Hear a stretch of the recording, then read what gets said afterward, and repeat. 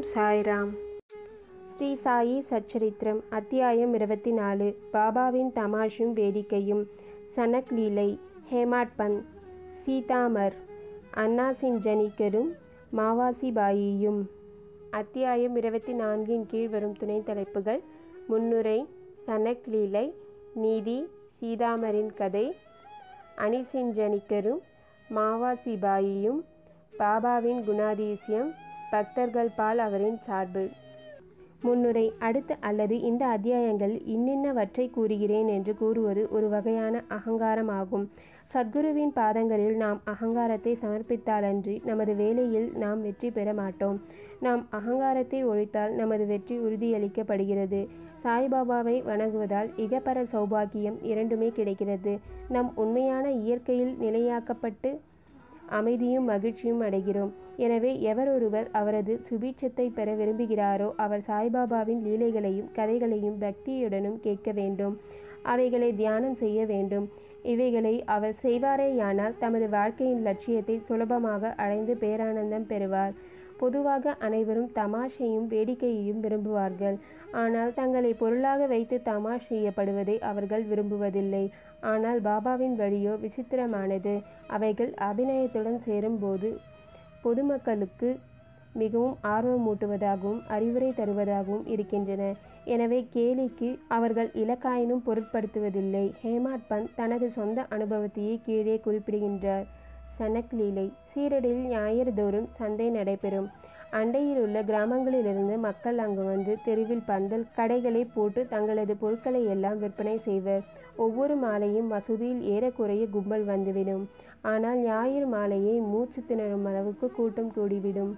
அத்தகைய ஒரு ஞாயிற்றுக்கிழமையின் போது ஹேமட் பந்த் பாபாவின் முன்னால் அமர்ந்து பாபாவின் கால்களை நீவி பிடித்து விட்டு கொண்டும் கடவுள் பெயரை முணுமுணுத்து கொண்டும் இருந்தார்.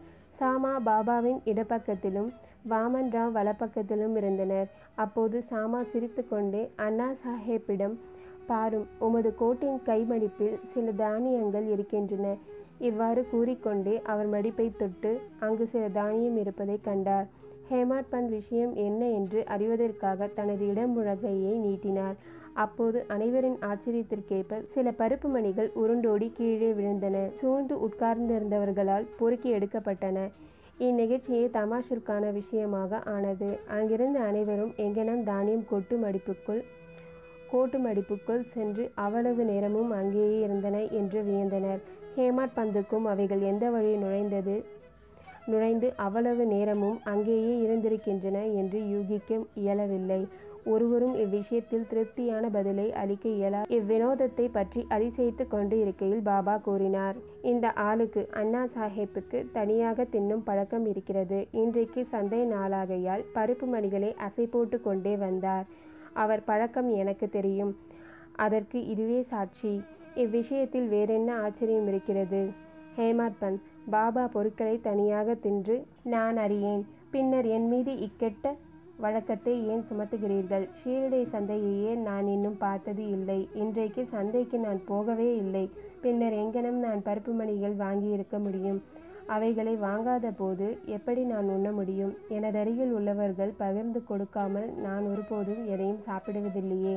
பாபா அருகில் இருப்பவர்களுக்கு நீர் கொடுப்பது உண்மைதான். ஆனால் ஒருவரும் அருகில் இல்லை என்றால் நீரோ நானோ என்ன செய்ய முடியும்? ஆனால் நீர் உண்ணும் முன் என்னை நினைவில் கொள்கிறீரா? எப்போதும் நான் உம்முடன் இருக்கவில்லையா? பின் நீர் உண்ணும் முன்பாக எதையேனும் எனக்கு அளிக்கிறீரா? நீதி. இந்நிகழ்ச்சியின் வாயிலாக பாபா நமக்கு என்ன போதிக்கிறார் என்பதை கவனத்துடன் நினைவில் வைப்போமாக.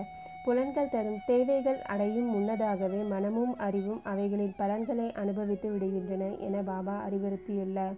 முதலில் பாபாவை நினை அதுவே உன் மனதில் நிலை கொண்டுள்ள அவருக்கு நிவேதனம் செய்யும் முறையாகிறது.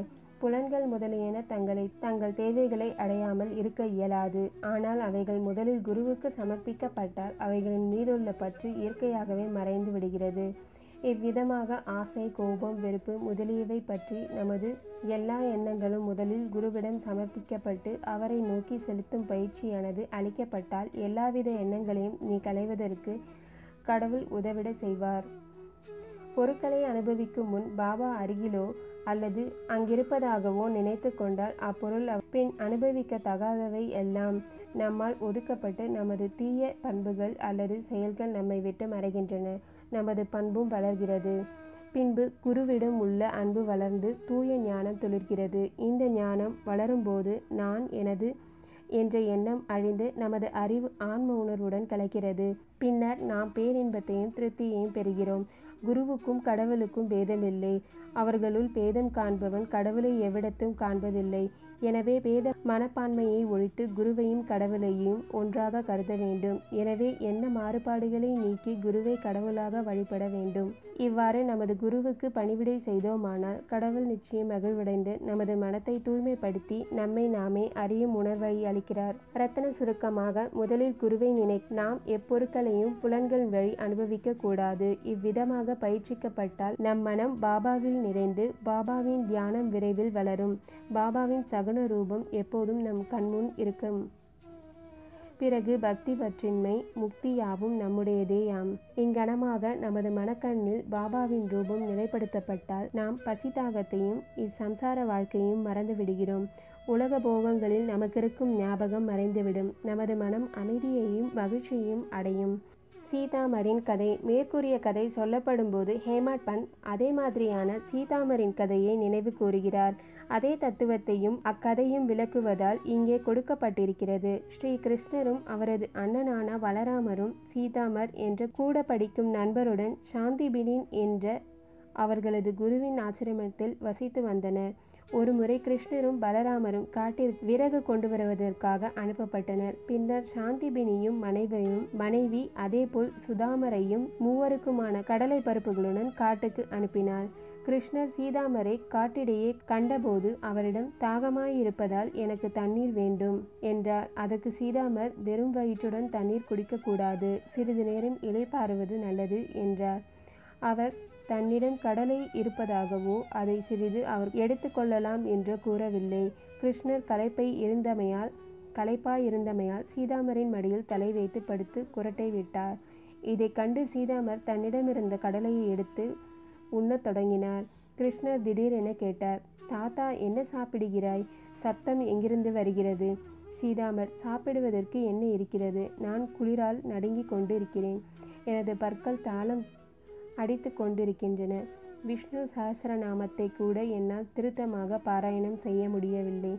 இதை கேட்ட சர்வ வியாபியான கிருஷ்ணர் மற்றவர்களது பொருளை உண்ணும் ஒரு மனிதனை கனவில் கண்டேன். அதை பற்றி கேட்டபோது தின்பதற்கு ஒன்றுமில்லை என்ற பொருளில் என்ன மன்னா? தின்பதற்கு உள்ளது என கேட்டேன். அதற்கு மற்றொருவன் அது எங்கனமே இருக்கட்டும். அது அங்கனமே இருக்கட்டும் என்றான்.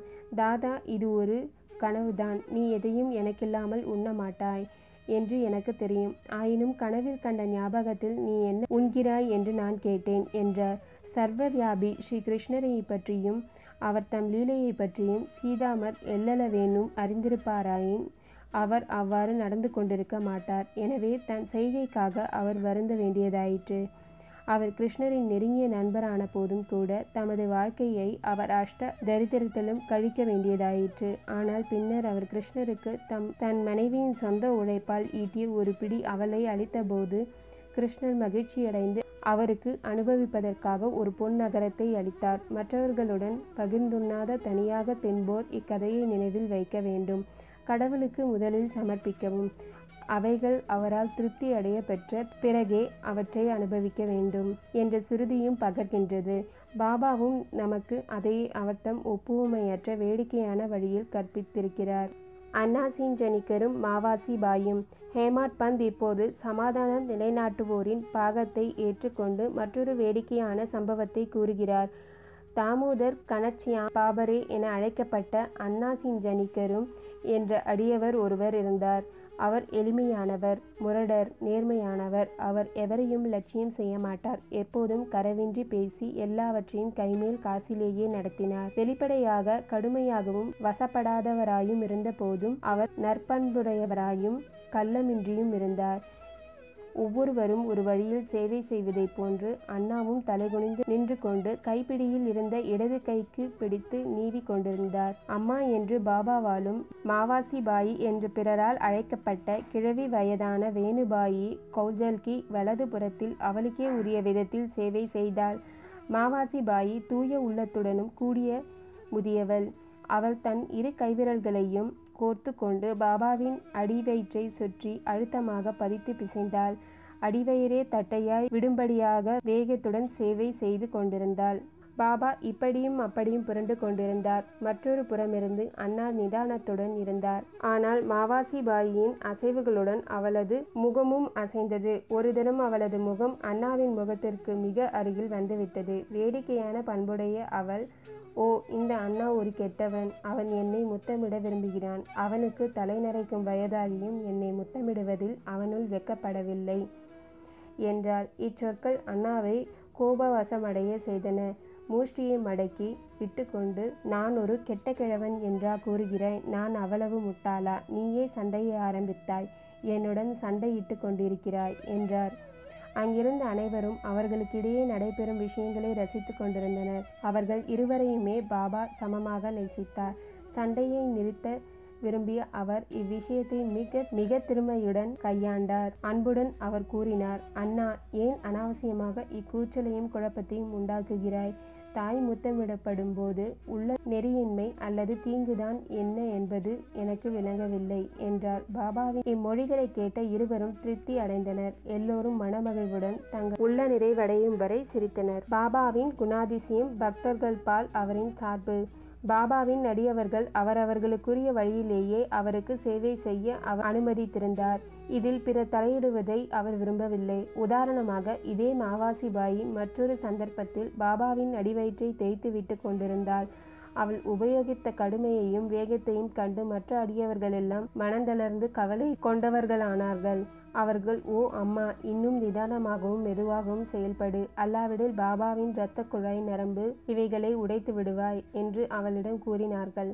இதன் பேரில் பாபா உடனே தம் இருக்கையை விட் எழுந்தார். தமது சட்காவை தரையில் ஓங்கி அடித்தார். அவர் கோபவசம் அடைந்தார் அவரது கண்கள் நெருப்பு துண்டம் போலாயின. ஒருவருக்கும் அவர் முன்பு நிற்கவோ பேசவோ தைரியமில்லை. பின்னர் அவர் சட்காவின் ஒரு முனையை தன் இரு கைகளாலும் எடுத்துக்கொண்டு வயிற்றிலுள்ள தொப்புளில் குச்சியின் ஒரு நுனியை அமுக்கினார். மற்றொரு நுனியை கம்பத்தில் பொருந்த வைத்து இரண்டு மூன்று நீளமுள்ள அந்த ஷட்கா முழுவதும் அடிவயிற் சென்றுவிட்ட மாதிரியாக தோன்றியது. இன்னும் சிறிது நேரத்தில் அடிவயிற்று கிழிந்து விடுமென்று மக்கள் பயந்தனர். தூண் உறுதியானது அசையாதது. பாபா அதன் அருகில் மிக மிக நெருக்கமாக போகத் தொடங்கினார்.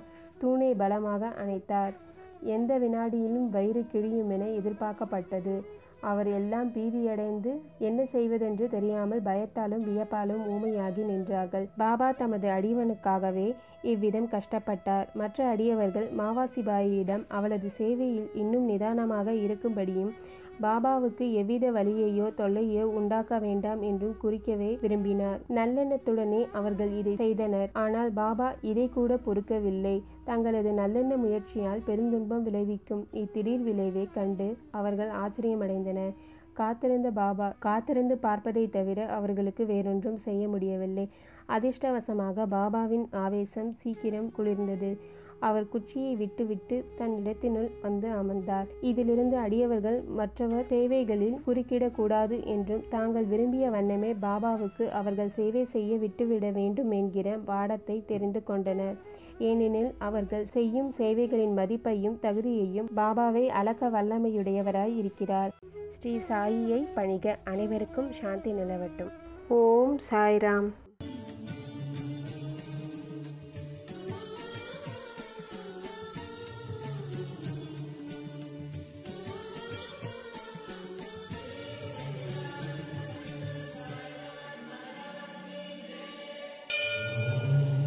நன்றி வியூவர்ஸ் இந்த வீடியோ உங்களுக்கு பிடிச்சிருந்தால் லைக் பண்ணுங்கள் கமெண்ட் பண்ணுங்கள் உங்கள் ஃப்ரெண்ட்ஸ்க்கெல்லாம் ஷேர் பண்ணுங்கள் இதே மாதிரி வீடியோஸ் நீங்கள் பார்க்கணுன்னு ஆசைப்பட்டீங்கன்னா கீழே இருக்க சப்ஸ்கிரைப் பட்டனை ப்ரெஸ் பண்ணுங்கள்